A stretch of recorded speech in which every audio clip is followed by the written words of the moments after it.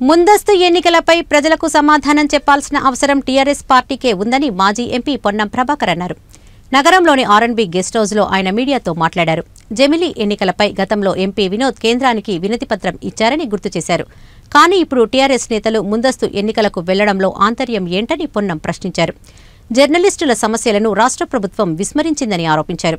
Kondagattu bus ప్రమాద ఘటనకు బాధ్యత వహించి మంత్రి మహేందర్ రెడ్డి రాజీనామా చేయాలని డిమాండ్ చేశారు.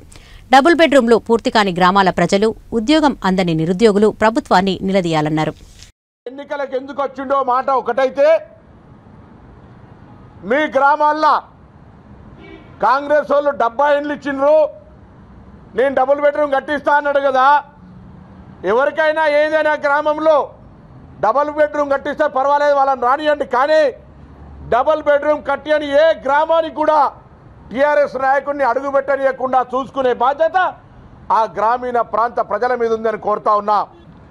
ఒక్క మంత్రి కూడా లేనటువంటి రాష్ట్ర ప్రభుత్వంలో మహిళల గౌరవం ఇదే అని ప్రతి మహిళ నిలదీయాల్సిన అవసరం ఉందని ఈ సందర్భంగా విజ్ఞప్తి చేస్తాం